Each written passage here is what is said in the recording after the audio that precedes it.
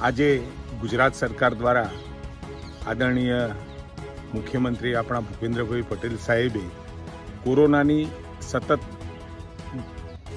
વધતા કેસોને જોઈ છેલ્લા કેટલાય દિવસથી, ચાર પાંચ દિવસથી સતત એમનું મોનિટરિંગ હતું અને એનું મૂલ્યાંકન કર્યા પછી ગુજરાતની જાહેર જનતાના હિત માટે અને વધતા કેસોને અને કોરોનાને નિયંત્રણમાં રાખવા માટે જે આદરણીય ભૂપેન્દ્રભાઈ પટેલ સાહેબે વાઇબ્રન્ટ સમિટ મોકૂફ રાખવાનું નક્કી કર્યું છે.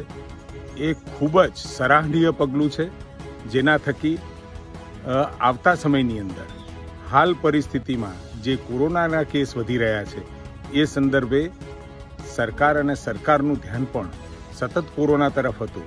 પરંતુ આ એક જ પગલાંથી મને લાગે છે કે આખા ગુજરાતની તમામ જનતામાં ખૂબ મોટો મેસેજ જવાનો છે.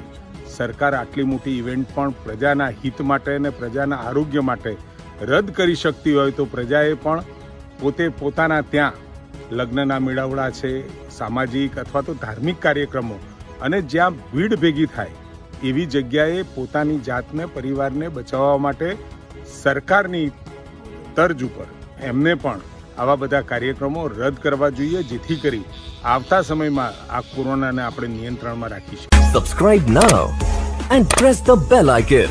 Never miss an update.